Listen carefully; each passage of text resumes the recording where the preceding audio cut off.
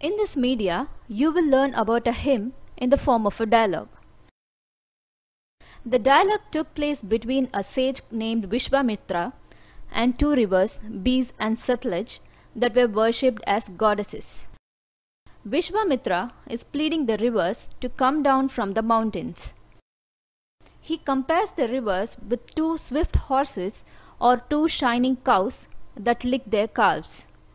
He says that the rivers move like chariots to the sea through the power of Indra.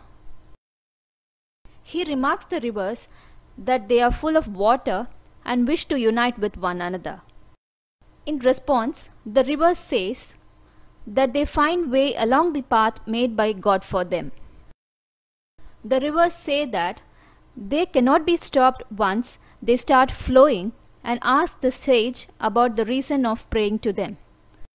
Vishwamitra, the sage who has come from a distance with his chariots and cars, requests the rivers to listen to him. He asks the rivers not to let their waters rise above the axles in order for them to cross safely.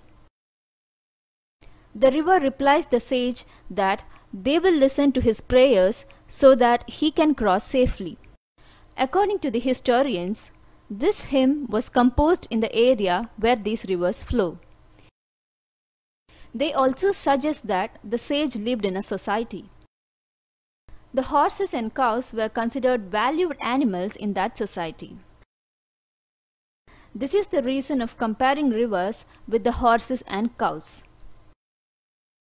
River Indus and its other tributaries and the Saraswati are also mentioned in the hymns. The Ganga and Yamuna are mentioned only once. Thus, you have learned a part of a hymn in the form of a dialogue.